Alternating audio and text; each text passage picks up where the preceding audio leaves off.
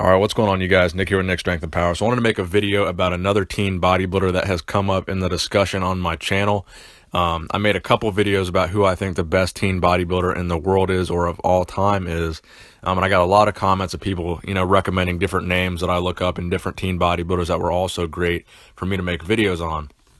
And the name Shane Dimora came up. So Shane Dimora was a very good teenage bodybuilder who at age 17 in 1984 he won four amateur shows, including winning his class at the Teen Nationals in 1984, again at the age of 17. So in 1986, Shane would come back at the age of 19 and absolutely sweep the amateur divisions and all these NPC shows. So he was a middleweight competitor uh, at age 19. He was five foot three, 176 pounds on stage, which keep in mind is very heavy for five foot three. Five foot three is very very short. So he would come back in 1986 and he would sweep all these amateur shows. So first he won the teen nationals overall. Then he would go on to win the junior nationals overall. And this was a very important victory because the 1986 junior nationals included several IFBB pros, including Shawn Ray and Eddie Robinson, who Shane Dimora beat both of those guys for the overall title at that show. Then he also won the nationals that year again as a teenager. So he, st- I, I, believe he still holds the record for winning his pro card at nationals as a teenager. Um, I don't think anyone else has done that since.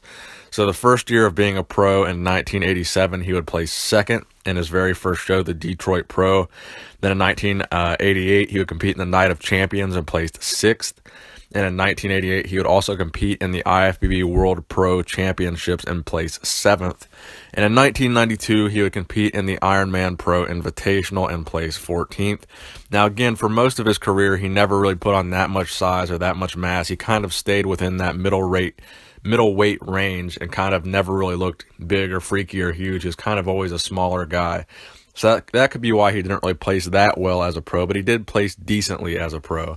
Um, but most importantly, we're looking at his accomplishments as a teenager. So as a teenager, he accomplished a lot. He won a lot of titles. And I would say in terms of amateur teen bodybuilders, he was probably one of the best in terms of titles won. Now, again, when we're measuring who's the best teen bodybuilder of all time, we got to consider what are we looking at?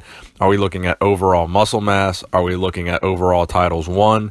Or are we looking at overall aesthetics? So take that into consideration. Let me know what you guys think in the comment section below. Who was the best teen bodybuilder of all time? Was it Lee Priest? Was it Alexei Lesukov? Was it Shane Dimora? Or we could even open the conversation to Cody Montgomery. So let me know what you guys think in the comment section below. Nick Strength and Power signing out.